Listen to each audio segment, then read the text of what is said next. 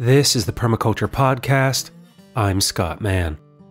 My guest today is Chris Gilmour. A permaculture practitioner and emergency manager, Chris works with individuals and organizations to map their community assets and help prepare for uncertain events. We recorded this conversation during the emerging COVID 19 pandemic to discuss practical solutions we can apply right now to make sense of the situation and prepare a response appropriate for our individual lives. We begin introducing the four pillars of emergency management. We then move to a six question approach that Chris finds useful when creating our assessments. We then talk about personal actions for each of us to take in the moment, and as part of our long term planning, using examples from Chris's own life to show the theory in practice. Throughout, we repeatedly return to what we can do to lighten the emotional load through activities that ground us in the moment as we focus on our values and what is bigger than ourselves as we plan for the days ahead. Enjoy this conversation with Chris. I'll join you again after and share additional resources you may find useful now and in the days and weeks to come. Then, Chris, thank you for taking this time to join me. I'm particularly interested in speaking with you because of your background in both permaculture and emergency and disaster preparedness. So, could you give us a bit of your biography and background, how you came to these activities, and then we can dive into what people can do to respond to and prepare for a crisis? Thanks so much for having me on. I'm really honored to be on here. I've been a big fan of the show for a long time, so this is great. So, you know, the approach I kind of take is like what I kind of call a holistic and regenerative approach to emergency and disaster preparedness. And to kind of give you context for what that means, uh, I'll maybe just give you a really, really brief kind of history of how I kind of got to that that term, this concept of holistic and regenerative emergency preparedness. So I started off as a, an outdoors guy and really dove into the world of permaculture and sustainability in my early 20s. You know, apprenticed on farms, went WWOOFing, did all those kinds of things. And then I dove headfirst into wilderness survival and the study of ecology for a number of years. Because after uh, a bunch of time on the farm, I realized that, you know, I knew how to grow things and create things.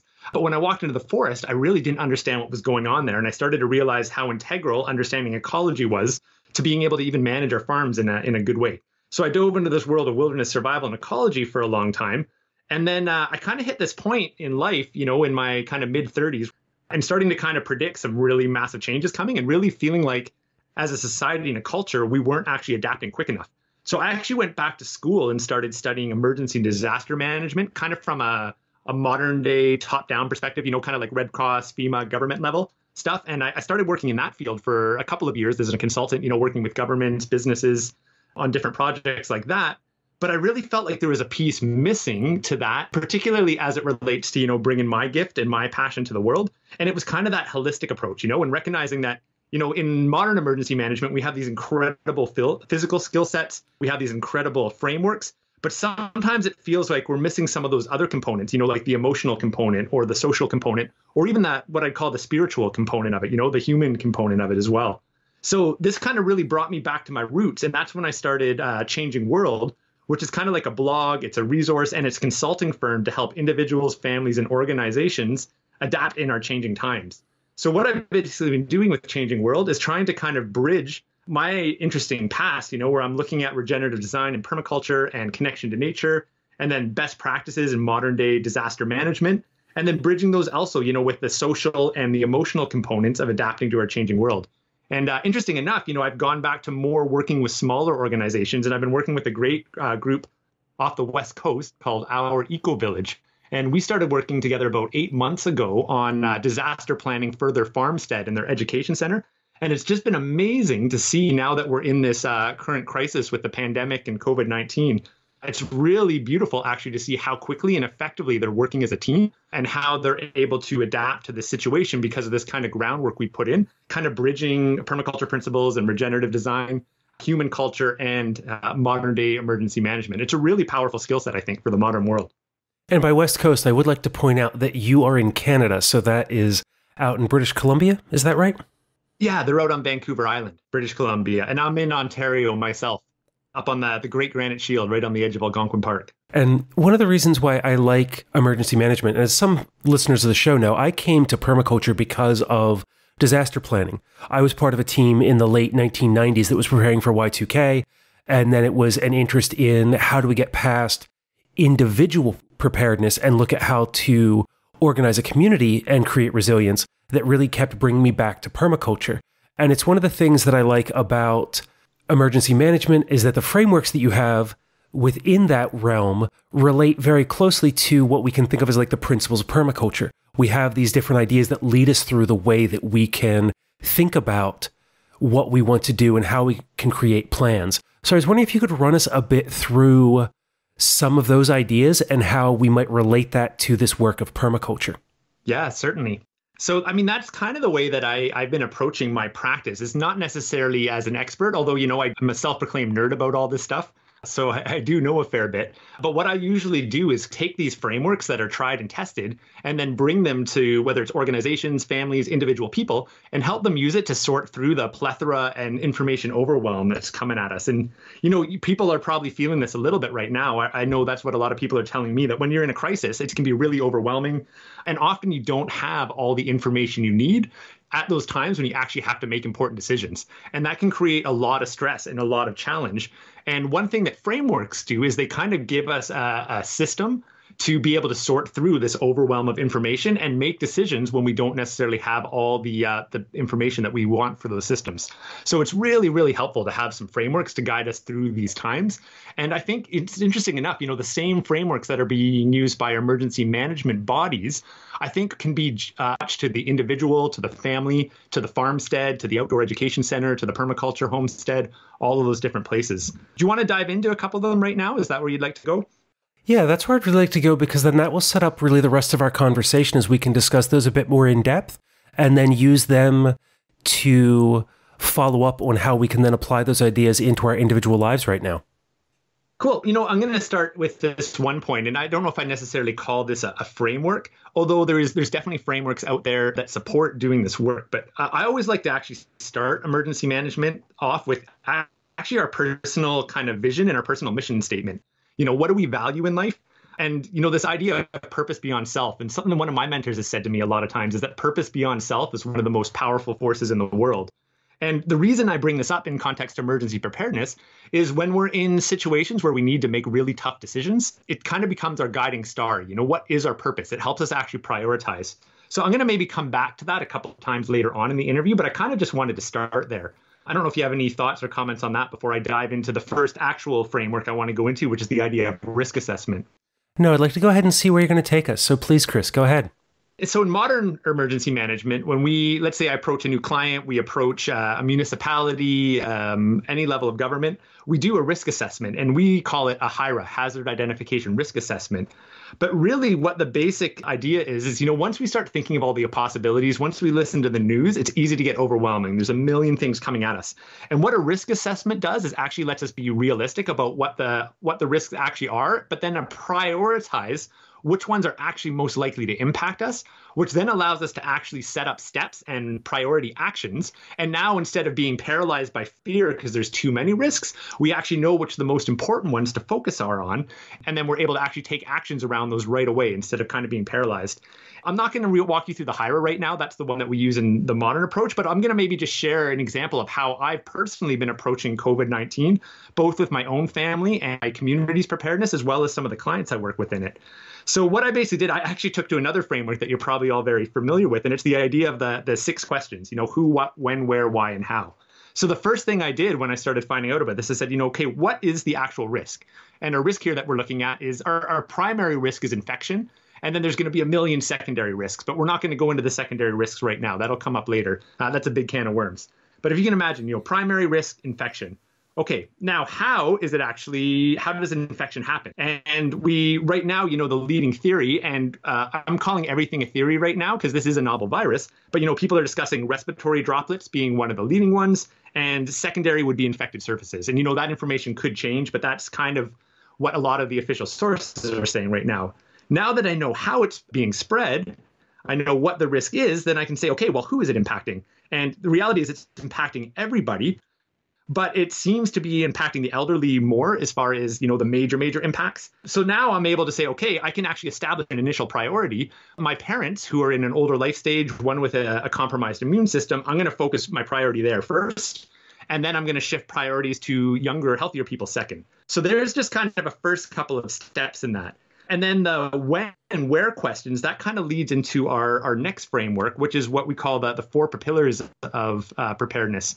And I wonder, you might be familiar with that from your work in the emergency management field a little bit, Scott, the four pillars? Right. Those are, if I remember right, because it's been a long time since I've been there, it's um, prevention and preparedness is kind of one, mitigation, response, and recovery. Is that right? Yeah, that's the basic idea. I usually kind of clump preparedness and mitigation together. So I'd say prevention, preparedness, mitigation, response, recovery. Doesn't really matter there. Where we're kind of going with this, and, and you know what, if you're hearing this for the first time, it might be a little bit confusing. But what we're actually doing is we're creating a really, really simple formula for you to follow right now. And you know that who, what, when, where, why, and how formula that I threw out there. Think about that as you've got way too much information coming through, and if you listen to all of it, it's just too much to take in. So what we're going to do is just use that first framework just to establish what is the stuff that's going to impact us. And now I want to do something with it. And as soon as I've established what those things are, I can stop listening to the news for a little bit and I shift over to these next four pillars. And for prevention, what we basically are being told right now, you know, for the pandemic COVID 19 is and I'm being very conscious not to say social distancing. I'm calling it physical distancing because I want to say that social distancing is not helpful right now. Physical distancing is, but we actually need social solidarity right now. So the prevention tools that we have are physical distancing, and then we have hygiene and sanitation are the two kind of main things being shared, right? From there, we can basically do a risk assessment with the four pillars, which kind of gives us a formula. And you know, it's not perfect, but we already acknowledge that emergency management isn't perfect. We don't always have all the info we want. What we want is a framework and a formula that allows us to actually act. So let's go into the action steps a little bit. Okay, I've, established how it spread, and I've established two prevention tools physical distancing and hygiene and sanitation practices. Now, an action step that your readers could actually do at home, or sorry, your listeners could actually do at home right now, is basically go through what's an average day that you would go through in your life. And you know, my wife and I run um, actually a food business, a, a wild food business, where we go and harvest stuff from the landscape and we make all these neat products.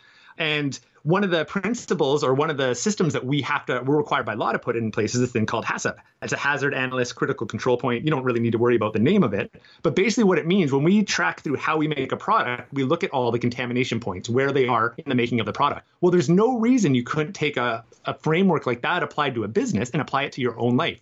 So if you're a family person listening right now, you could actually just say, okay, where are the main infection points throughout my day? I've looked into how this spreads. Now I can think about, well, where would be the most likely place for me to interact with that spread?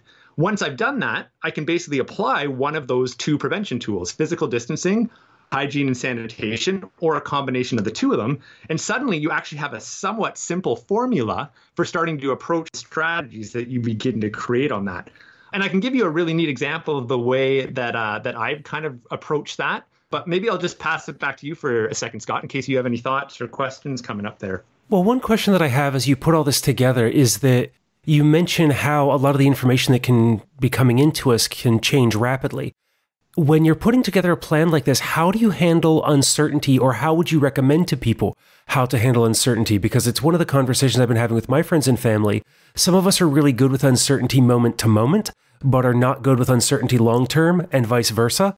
And so, like, we know the pieces that we can work with within the theories, but generally speaking, how do you account for that kind of uncertainty when putting a plan together like this? Or is there just a way that you can create that kind of social solidarity that mitigates some of those feelings? So I'm going to maybe start by naming kind of the two elephants in emergency preparedness. And one of those is just knowing that plans aren't actually perfect when we go about these things. Actually, I'll maybe just stick to one. So I'll say there's one there's one thing. We're just going to acknowledge that and say that out front. Plans aren't perfect, but we need to take action. You know, and there's that quote that um, uh, a plan uh, i might mix it up but a plan executed today is better than the perfect plan executed tomorrow and that does apply to in some situations especially in crisis where we have to act fast so just acknowledging that even amongst friends and family there, there's some value to that. And i tend to think kind of in cycles. So we're, cycle one is our observation cycle. Are you familiar with the concept of the OODA loop scott? I don't know that that's one that i've encountered before. This is a really, really powerful framework. I won't go into the history for it, but basic idea behind it. So people there's this this fight flight response mechanism that a lot of us are familiar with. You know when we come under a lot of stress or we're scared some people tend to fight some people freeze some people flee they run away right and what the OODA loop does is it shows that often under stress people will observe something and then OODA stands for observe orientate decide, and act. And some people will observe and then they'll just go right into an action. And that action may or may not be a good thing, you know? Um, in the case of like we're walking through the woods and uh, we see something that makes us need to run, it might save our life. But sometimes quick actions don't actually help us. And what OODA trains us to do is we observe the initial action and then we actually train ourselves to take a breath and we orientate to what are all of our options. So we say, okay, what are all the different variables that I need to think about? And what information do I have right now? What information do I not have? Then I take another breath and then I make an action plan and then we basically make our decision. This is what we're going to do, and we act upon that decision, and then we come back and cycle again. So I think just to be able to, you know, if you've got, say, let's a group of family members or a group of workmates, and you're trying to think about how to navigate this scenario, you know, just being able to be, have a framework that you share and a common language is really valuable because you could acknowledge, okay, the plan isn't going to be perfect. We don't have everything we need to do. Two, let's observe all of the information that we do have access to right now. And you can use that framework I just gave you the who, what, when, where, why, how to get the relevant information. Once you've observed that, you can orientate to what resources do we have available to us? What skills do we have available to us? Then we can take another breath and say, okay, what, what action plan do we have coming out of this? And now let's carry forward on that action plan, knowing that the next step is to take another breath and then observe again. And in that next observe round, we're going to take in new information and we're going to alter the plan as needed at that point. Does that kind of help you there? Are you following where I'm going with that? Yeah, I like that. And it makes me think very much about when I first started studying permaculture, when we refer to the first principle that comes from David Holmgren of observe and interact, that it was relayed to me that we should also think of it not just directly as a see and do, but a observe and then interact so that there was a pause between the two. And I can see how that kind of a breath and that pause creates a space for us to begin to make better decisions in a proactive rather than a reactive way. It's so valuable in this work, you know? And and there is something to just kind of naming what I'm calling the elephants in the room, those things that like we're all uneasy about and that we know that aren't as ideal as we want. You know, the other tool I'll throw in there is just some really clear agreements, you know? Uh, around how we're going to work together under this. And you know maybe even naming that hey we're all under stress and you know some of us might snap at each other from time to time and maybe not show the best conduct. And we're all just in agreement that that might happen and we're going to all do our best not to do it. And if it does happen we're not going to have hard feelings about it you know?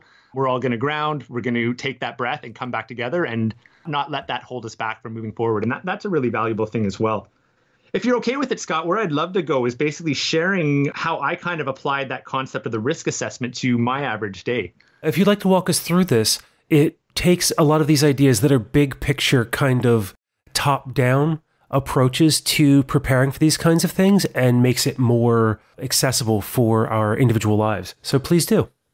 Yeah, and that's where I'd really like to go. You know, we just got really kind of big picture theoretical, and now I'd like to really get practical with some of these steps.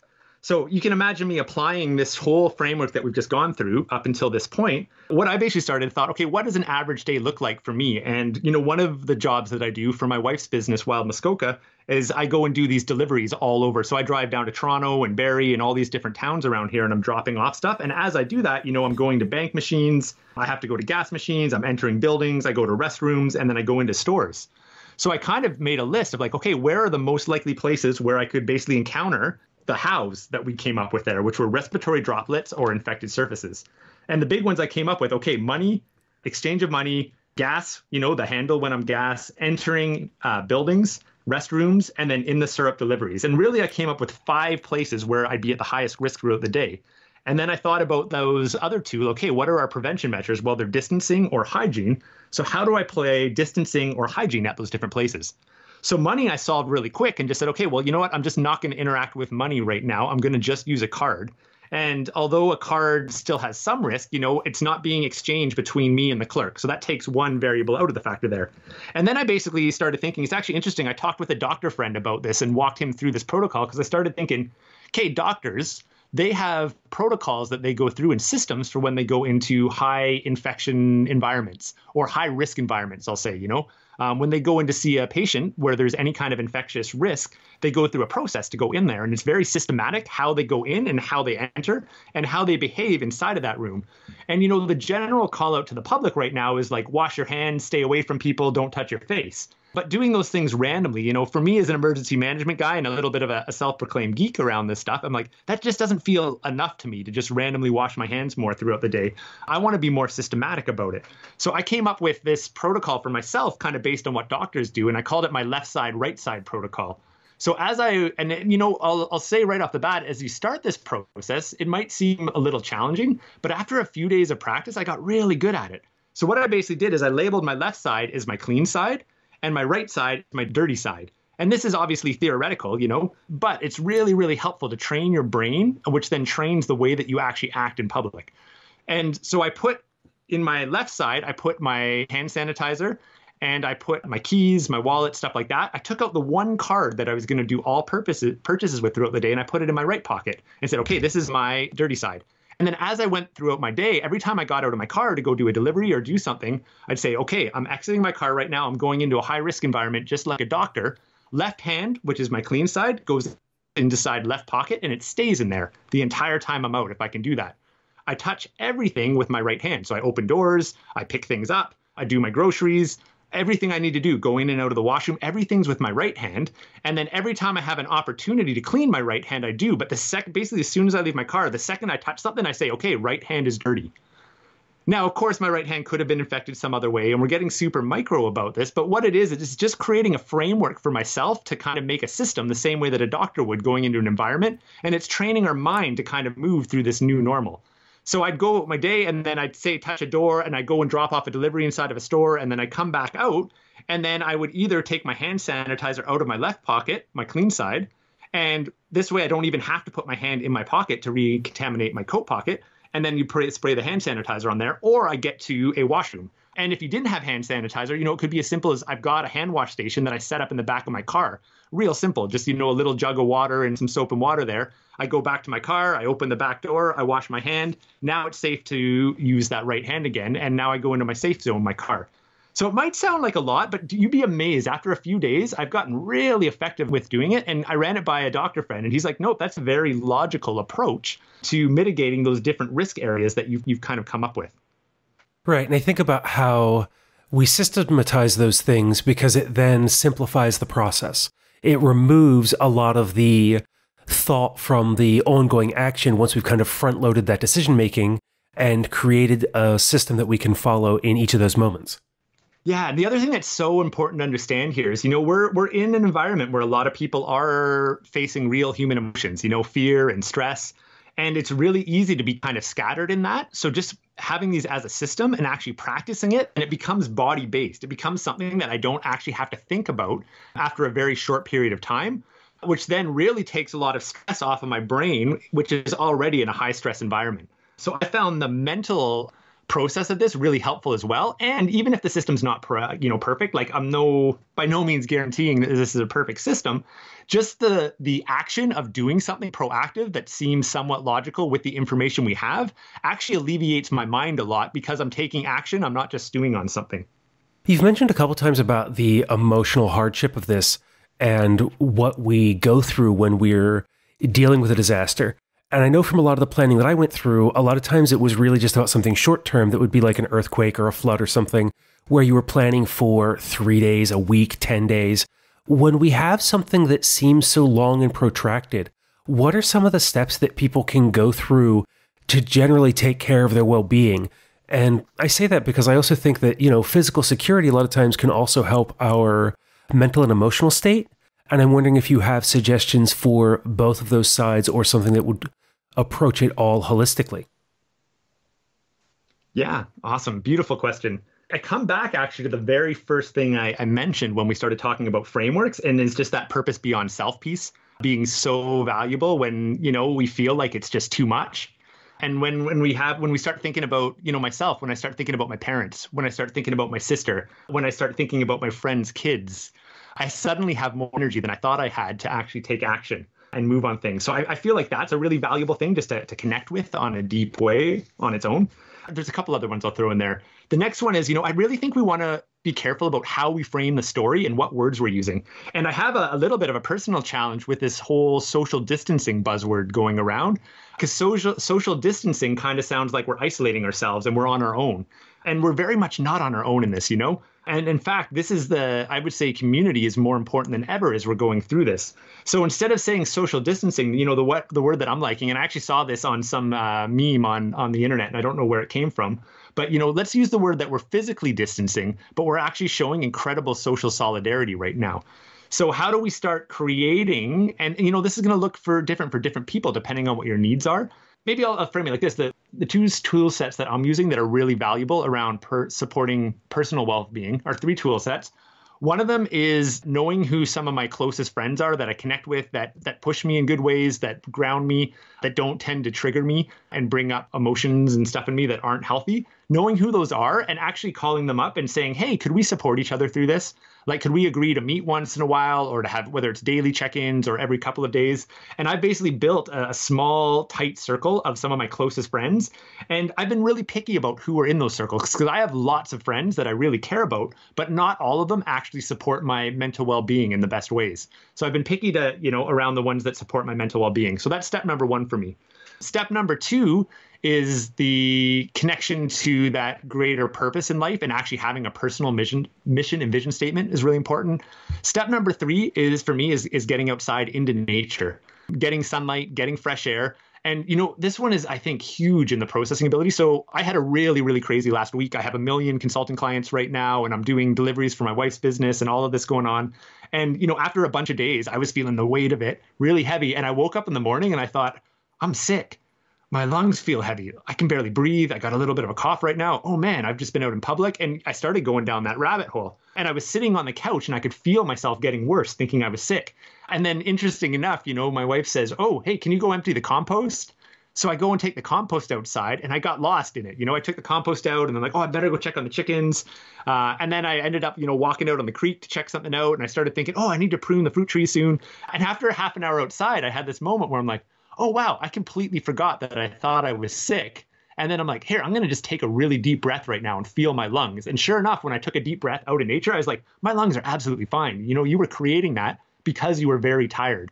You know, so understanding our own psychology and how fear plays on us, developing frameworks to snap ourselves out of it. And for me, you know, going, this might look different for different people, but for me, you know, it's going out into nature is the tool that I use to snap me out of that that um, psychological rut that I can get in that tells me that I don't have the skills, I don't have the energy, I don't have enough. And ironically, going out in nature is also often what tells me, hey, you're going on overdrive right here. You think you need to do all these things, but actually, you know, you need to take a day off right now and you need to take some rest. And then that would be the number four there. So I said I was going to share two or three, but I guess there's four. The fourth one is then just acknowledging those moments and actually, you know, making sure that you sleep in once in a while, making sure that you're really nourishing yourself. I mean, my wife and I, so we took two days off coming out of that experience. I made a big pot of bone broth with, you know, a whole bunch of medicinal mushrooms and a bunch of really nourishing things. And just taking two days to tend ourselves. And, you know, it's kind of funny because for those whole two days, I felt a little bit like, oh, am I sick? Am I coming down? And I was playing with that psychological game. But I came out of it being like, nope, you're feeling great and it's time to go. I'm ready to serve the community now. And I know what my purpose is. And yes, this is a, a long one and it's unprecedented territory. But I've got this tool set that I can now go through, which is basically those four points I just shared with you there. And that's been a piece of some of the conversations I've been recording recently is about that need for grounding activities. You know, whether that's making something with our hands, spending time outside, tending to our garden, playing with our children, just something that takes us away from all of the information that we're being bombarded with and all of these different pieces and just giving us, well, as we said earlier, that moment of pause that allows us to reassess the space that we're in. And you know, thinking about that OODA loop framework when you're feeling really overwhelmed, to actually say, hey, let's just take a breath right now and just observe, you know? And I like to observe out in nature myself. Okay, let's orientate to everything right now. What's going on? What do I need to do? Let's take an action. And the action could be something physical, or the action could be go have a nap, or it could be like go for a longer walk, you know? And, you know, one other thing I'll just throw in there is, you know, another permaculture principle is uh, around self regulate. And you know, I think there is a lot to, and it's hard to do this in crisis, but thinking about in the future, there's there's a lot to spending some time digging into your own psychology and how your brain works and what triggers you and what set, sets you off, and and developing skill sets that actually let you navigate that in tricky times. You know, and it's hard to develop those skills when you're in crisis. So I really recommend people when things are actually feeling calm that's when you actually want to be really diving into your psychology and kind of being critical of how your brain works and when it's actually telling you stories that aren't true. And then thinking, okay, when this happens next and I'm overwhelmed, how am I going to it's helpful just to know that that's what your brain does and then to ask yourself, okay, how am I going to snap myself out of that, you know? And that's where each of us have these adaptive or coping methods that we can apply and finding which ones are, as you say, when you're kind of evaluating your friends and who you want to spend time with, which ones are the healthiest ones for us that allow us to stay in the moment as opposed to perhaps being some kind of an engagement that takes us away or is an escapist way to adapt to what's going on that we can choose the better, healthier path. Yeah, 100%. With our time left here, do you want to dive into some some kind of more action steps around this kind of current crisis? Yeah, I'd love to hear more, especially if you can relate it again to how you're living your own life as an example. Awesome. So one thing I, I created this uh, this kind of fun course around emergency preparedness a number of years ago, and the, the first kind of module in it I call "Think Like a Survival Expert," and maybe uh, for this podcast we'll call it "Think Like a Permaculturalist" for it. And basically, the idea behind the course was trying to take emergency preparedness and actually making it really simple and engaging. And, you know, one of the challenges is that people tend to not find the time for emergency preparedness until they're actually in crisis. And then suddenly the need becomes really apparent. So, with the creation of this course, it's called Survive the Storms, and it's an online experience. I basically wanted to make it like fun and relevant. But the very first module is called Think Like a Survival Expert. And it's kind of based on that permaculture principle we already chatted about called Observe and Interact. And it's designed to kind of teach situational awareness and mapping hazards and resources. So something that's been really apparent to me as because my, I've already kind of trained my mind to work like this. In the the first early days of this um, this incident, you know, when people first started kind of hearing about it, people started reacting out on the streets, the panic started to set in. You know, people have this natural psychological tendency to want to return towards normalcy and really think about their immediate needs. But I very intuitively and instinctively go to kind of thinking a couple of steps ahead because the first few weeks of a crisis, particularly this kind of crisis, often in some, some ways are it's more about the emotional stuff that comes up than it is the actual physical stuff. You know, a lot of people could just stay home for a week and they have enough food in their house already. Even if you don't, you know, a lot of people that are healthy, if you don't have a medical condition, you can just not eat for a week and just you'd probably be alive at the end of it and, and be okay, you know? But we tend to just like grasp for normalcy. We want food, we want toilet paper, we want to cling to all these things that are normal. And where I'm going with this in the think like a survival expert. So I'm I'm sitting there downtown and I'm basically watching the lineups. You know, they're everyone's at Walmart. Everybody's at the major box stores buying stuff. And this is basically when it came out that there was no hand sanitizer and there was no alcohol left. And people are really starting to panic because they can't get hold of these things. Now, I didn't actually need these. My wife's a herbalist, so we make a lot of these things ourselves and we're well stocked up just because we just live that way. But I started thinking, okay, if I was to think like a survival expert right now and be really instinctive about this, I don't want to go where the herd mentality is taking me into all those places. So I started thinking, okay, where are people not going right now? And I'm like, okay, there's all these tiny little mom and pop variety stores that are kind of like on the side streets or, you know, just outside of the main commercial areas. Or if you live in the country, you know, the one that's outside of town. So I started going around to all those places, and sure enough, you know, you could find alcohol and hand sanitizer at all of them before, and those places are empty because everybody is just going to the normal places. You know, they're going to the WalMarts and stuff like that. My dad actually shared a great one with me the other day. So he's sitting in the grocery store and he's realizing that everyone's panicking because there's no bread. He has this thought in his head. He's like, oh, wow, well, you know what? I've got this bread maker that I used to make bread with all the time. And uh, I used to really love doing that. And I kind of forgot. I'm going to walk over to the flour section. I hope it's not all gone. And he walks over there, and sure enough, he said there's not a single bag of flour missing. Yet all of the canned food's gone, and all of all of the bread is actually gone, and people are panicking. And nobody's realizing that they can actually just make bread themselves. They don't have to make bought bread. And if you think about it, you know, if I go and buy a loaf of bread for five bucks, it's going to last me a couple days. For five bucks, I could buy a big bag of flour that's now going to make bread for the next couple of weeks for me for the exact same price, you know? So thinking like a survival expert is starting to just kind of uh, consider things in different ways. And when we think about shelter, water, fire, food, and not necessarily just rushing around with the herd mentality, it's again the OODA loop. You know, we observe, okay, everybody's rushing to Walmart. Well, where aren't they rushing right now? And what do I actually need right now? Orientate to that and orientate to my other options that might be available and then make a decision and act upon it. And then on top of that, it's maybe thinking ahead a couple of steps and being like, okay, am I actually reacting emotionally right now? And I'm I'm buying an incredible amount of toilet paper when really I should be in the flour section, you know, because that flour might run out eventually as well.